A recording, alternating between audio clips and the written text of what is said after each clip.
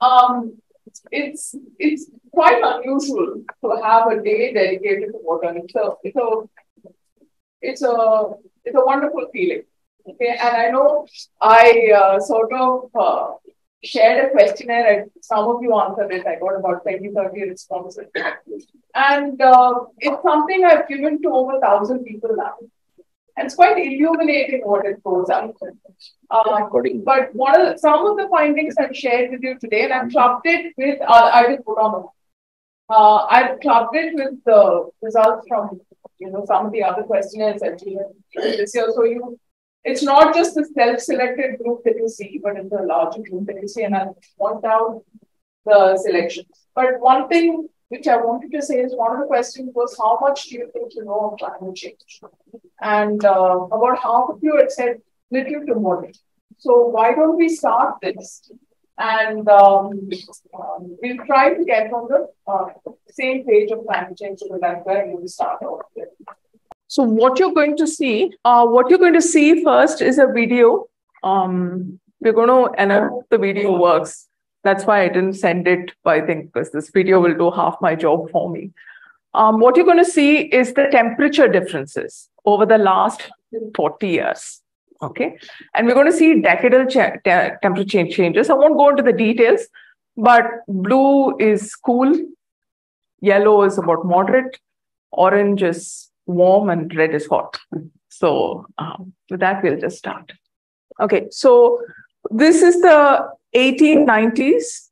This is the 1920s, 1930s, 40s, 50s, 60s, 70s, 80s, 2000s, and that's up to 2017. Wow. Can you just play that again? So okay, blue is cool. It, it okay, it's reference to a, a, base period. So, but for simplicity, blue is cool. Um, yellow is normal, and um, it's two is pretty hot. And that's today. Okay. So we're about a degree to a degree and a half warmer now, right? And um, so naturally, I think this this is all. I mean, this is the main thrust of climate change. And uh, what I this is a question I asked, which is who do you think will be most affected by climate change? So the the blue um, line is future generations. Okay, the light blue line is the whole world, and the pink bar is uh, everyone everywhere equally. Okay, and it's really amazing. I've given this um, questionnaire to students, to older people, to you know people focused in sustainability like yourselves, um, to everyday uh, you know Rotarians, etc. The answers have been consistent, right? People think climate change is a problem that affects future generations or everyone everywhere equally. And that's a lie. Okay. Climate change is the most unequal force that we've seen. And here is another chart. Okay. This, uh, the x axis is coverage from climate risks. It tells you it's sort of, if you're closer to the zero point or two in this case, it means you're more exposed to climate risks. Okay. And uh, the y axis is how well you're able to respond to climate risks. Okay. And if you look at India, um, we're hit both ways. We're one of the most vulnerable countries to climate change, and we don't have a lot of fiscal and you know political space to respond. And that's the thing. If you were Canada, we would have be having a completely different conversations.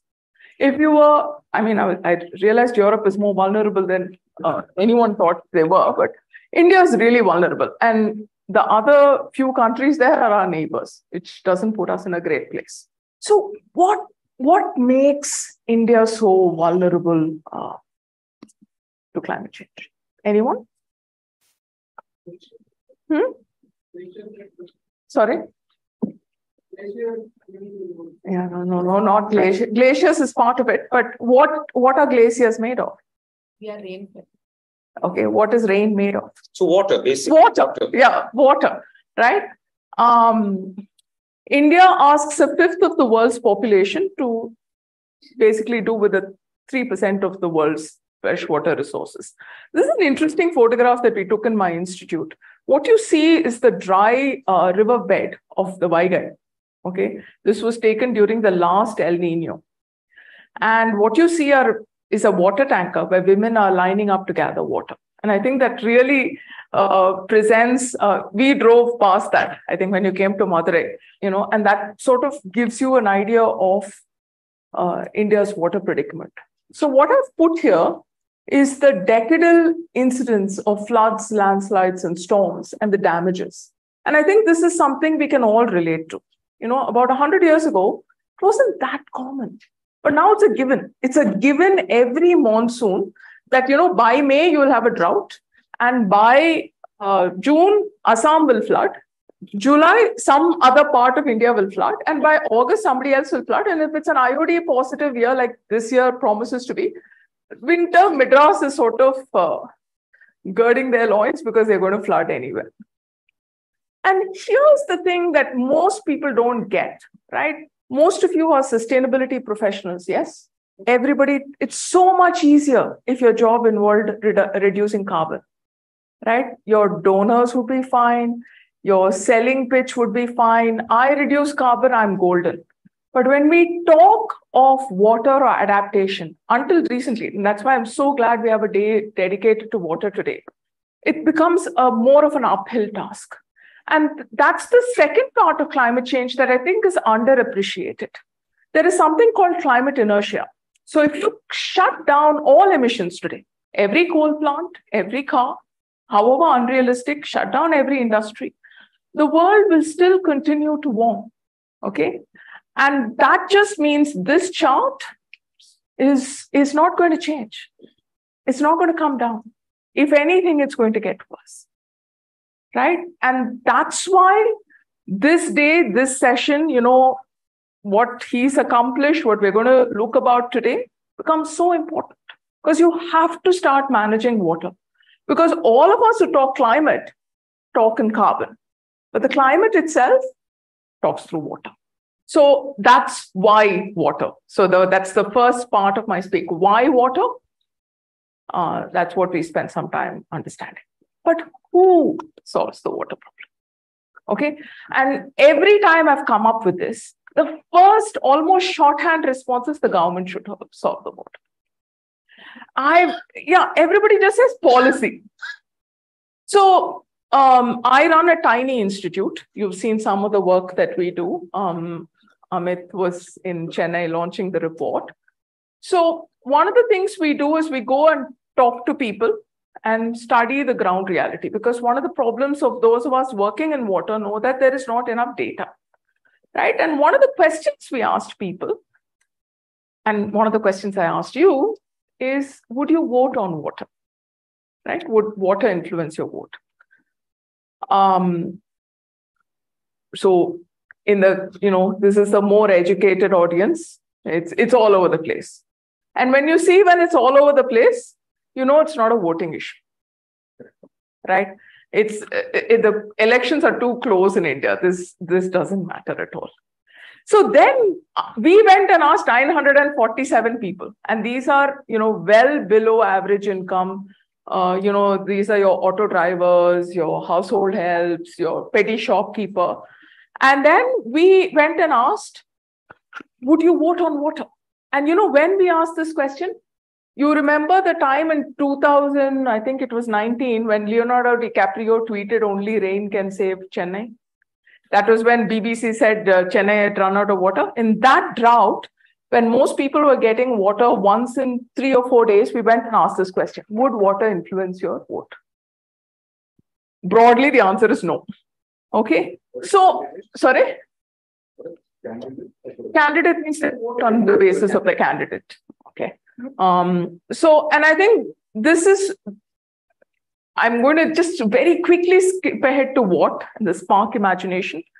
This is really something that we need help in.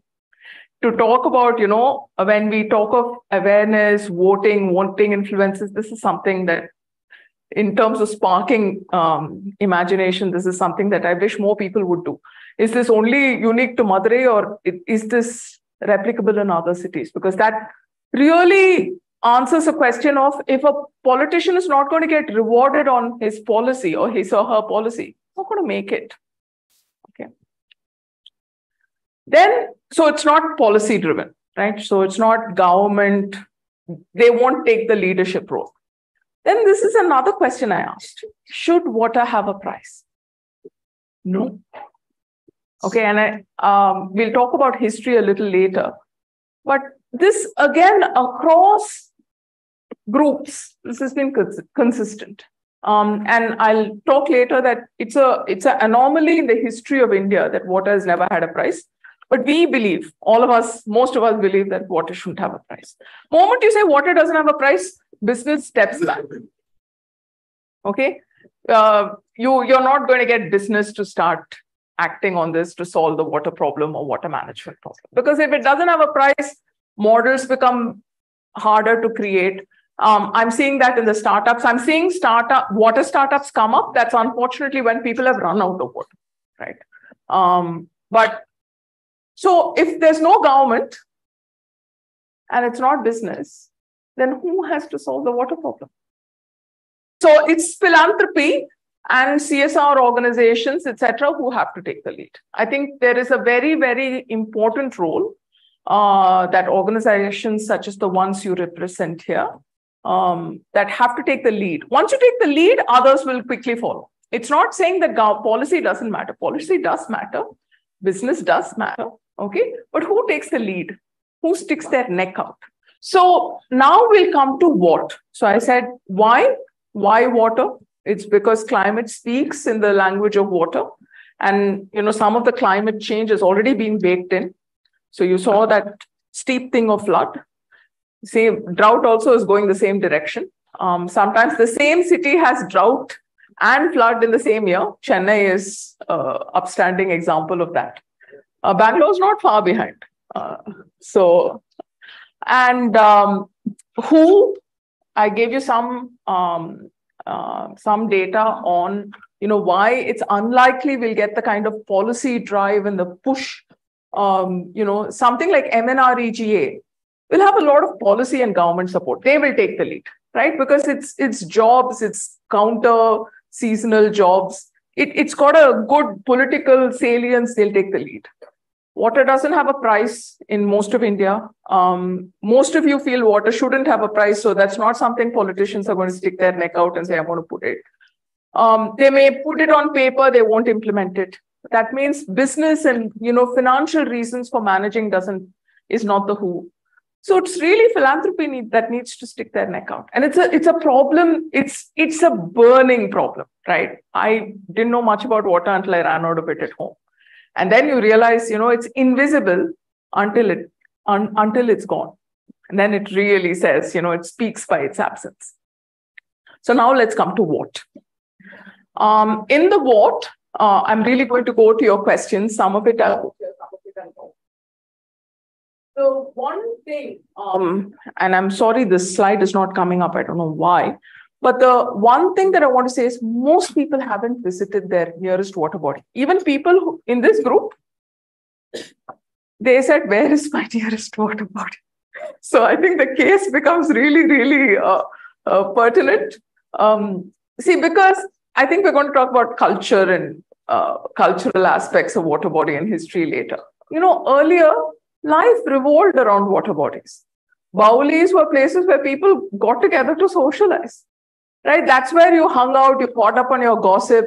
What your office, uh, you know, uh, it's you no longer have your coffee stand or your water. When I went to college, that was when people caught up, etc. That's your that was your Bauli. Today it's it's not, it's gone away. Most people don't even think it's a nuisance. Most people may have their flat built on their Bauli or their office built on their Bauli. Definitely the local corporation office will be built on a lake. Huh? Exactly. Yeah, yeah. Madurai is uh, the corporation office is built there. T Nagar. Okay, any of you guys from Madras? Chennai? Yeah. T Nagar was a big lake. It was two miles by three miles. The Madras Boat Club had their uh, winter regatta there. It was that big. and they built over it in, in the last hundred years. Um, and then we ask, why is it flooding? Well, it's, it's a lake, you know, and, and uh, yeah. Anyway, the, this is really an interesting point. Okay, I um, there was a question that uh, asked people, "Do you know about sewage treatment?" Pretty much everyone said they knew about sewage treatment. Then there was a question in my, in there that said, uh, "What is the first word that comes up?" I expected yuck, gross, horrible, this that. People were either they were virtue signaling and anonymously, or uh, you know they were quite honest about it. They said, "Yes, it's great, it's visionary, this that, and all." The quite quite open to it. Then there's a paradox here. Right? I argue in my book, this comes down to water not having a price, so it doesn't make sense. Especially, in, I take the case study of Bangalore in my book.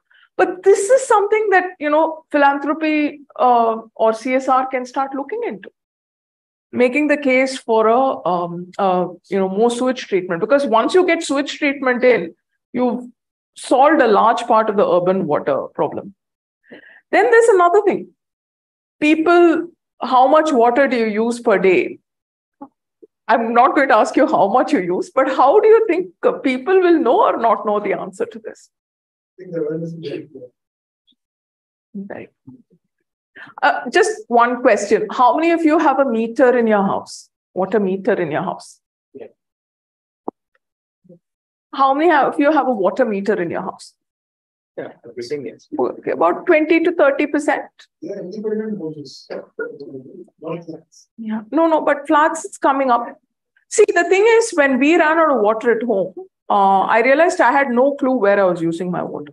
So today we have 15 meters in our house. There's a little bit of OCD in there, but uh, that really tells me where I'm using my water and where I can put my finger on at any point in time to understand where to get it done.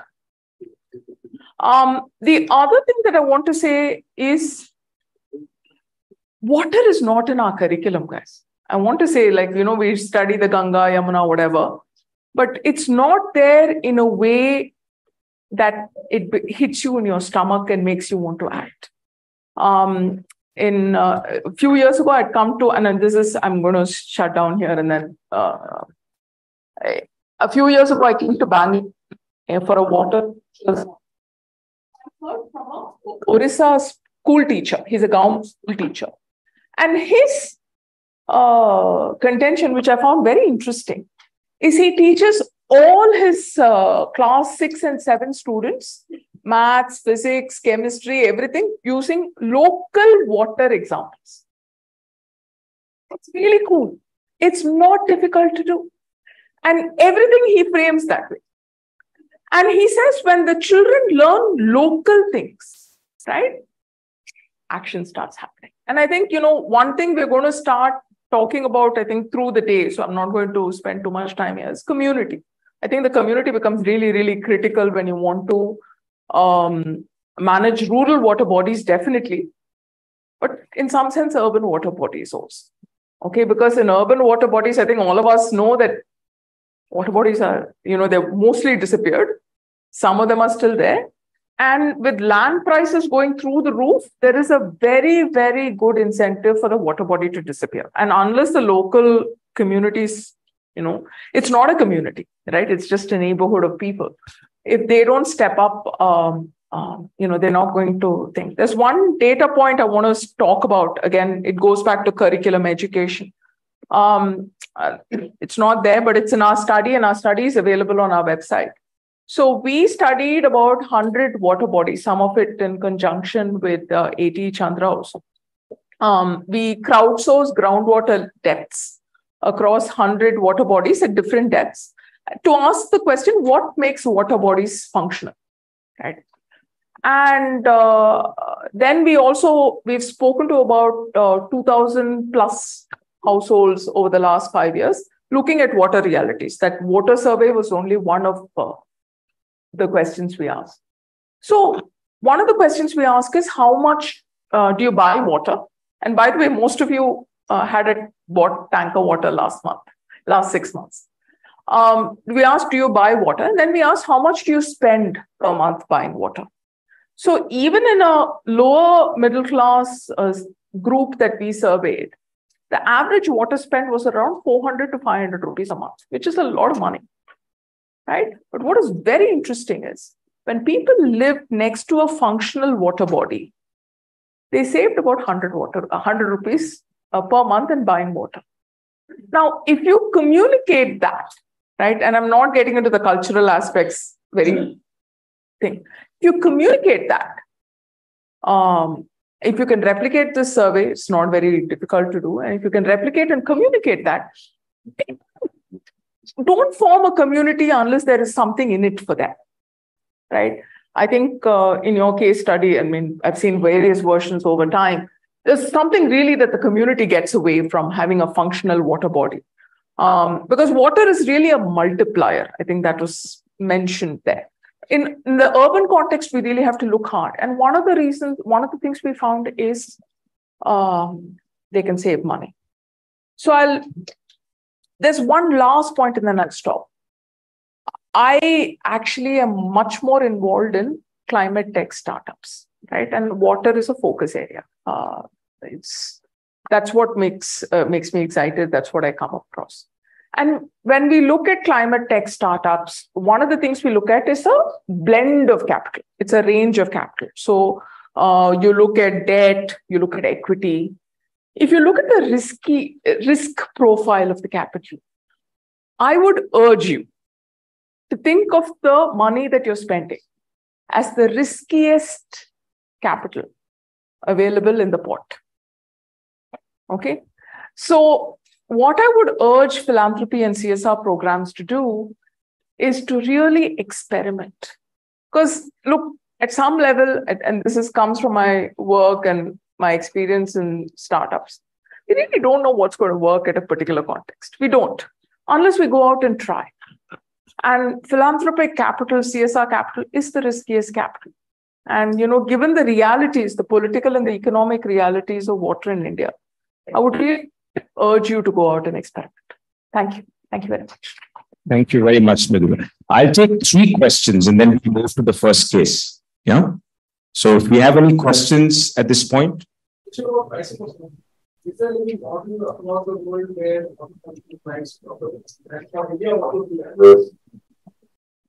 I will go to Indian history. Okay, if you look at the Arthashastra, the Arthashastra talks beautifully about the pricing of water. He gives tax breaks for uh, water body maintenance, right? Um, it's it's really interesting when you look at the fines and the water charges that the Arthashastra puts. But let's, I think philosophically today, who is uh, following the Arthashastra? Singapore and Israel, right? Um, I've got the full details in my book. I think I've also written about it in a free article somewhere. So, um, but the, the premise is this, right? The basic minimum is at the lowest cost, right? So what a family of four, say, uses um, in a month, if they if they're not having pools and whatever, is you can either make it free. That's what Delhi tried to do. They said X amount is free, and then even if you go a little above that, you get charged. So, uh, thing, and then you do volumetric pricing, which increases. So the second slab is slightly above, and the third slab is negative. What uh, Israel adds, which is very interesting, is uh, different qualities of water are charged differently. So uh, if you use reused sewage, I think Bangalore is doing that also, to not full level, but you can buy uh, reused, uh, retreated sewage at a cheaper price, and that makes sense.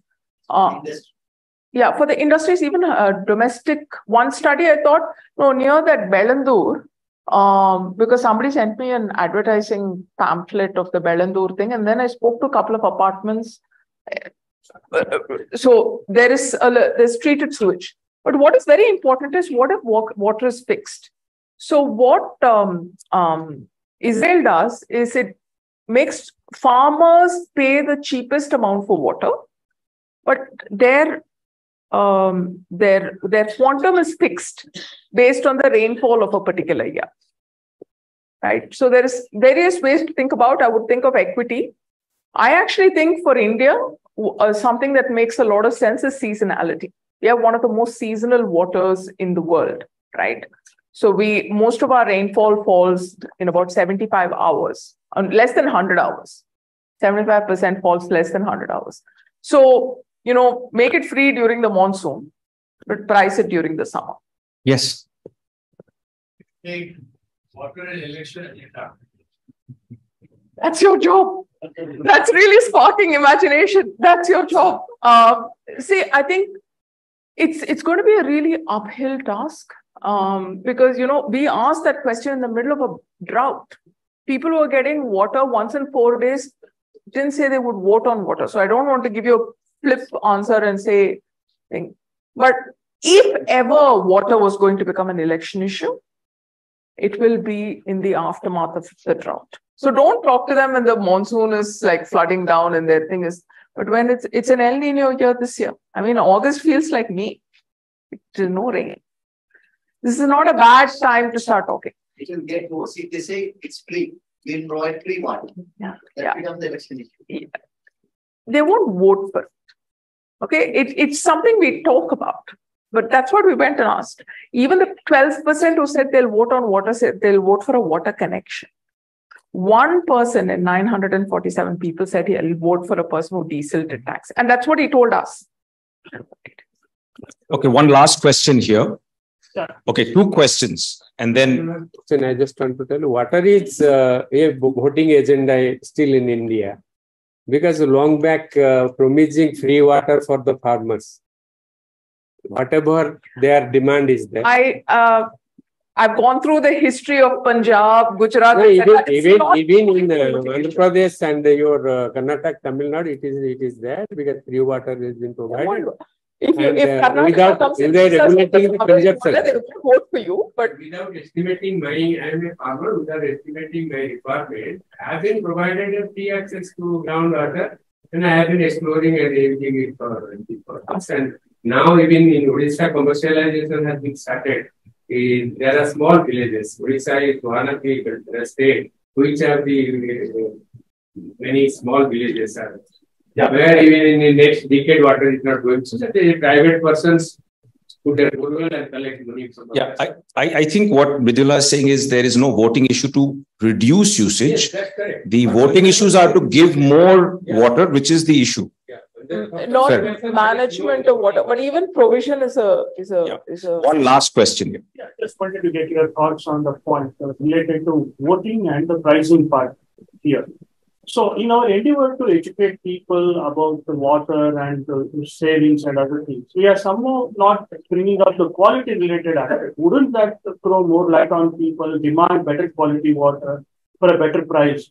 Wouldn't that create some kind of a Okay, I, um, I haven't put that up there. We asked that question. So we asked people, if you got twenty-four by seven water on tap, good quality coming into your doorstep, would you pay for it? Most people said no. However, I, some of you, many of you may already know the case study of Malkapur. How many people know Malkapur? Yeah, one person said yes. No, I, I would urge you to go and see it. Uh, if you, I've uh, written about it uh, in the thing, I spoke to different constituencies there. They actually got, uh, it's a very interesting uh, example of how civil society and politics worked hand in hand to get 24, exactly all the pricing that I said. Uh, metered, 100% metering, volumetric pricing, you know, the bulk users play more, and it's a small village, right, in Maharashtra. The, the trick there is it's a safe seat for a politician. So he could afford to experiment because there's no political competition, and he could afford to go step by step. So actually, uh, the two by two matrix that I would talk about is please focus on water stressed, water high risk districts in India. And I think that's that's a fairly easy thing. And focus on districts which have low political competition. These are the safe seats.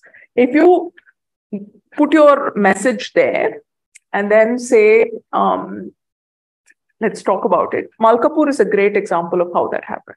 And before all of you think this is all BS, I've seen this done in solid waste. And so, I mean, my institute actually focuses on waste and water. Waste is actually moving forward far faster than solid waste management is moving far faster than water. So it has worked there. Yeah. Sorry, how is that spelled for the village? Malkapur. M A L K A P U R. It's okay. Thank you, Mridula.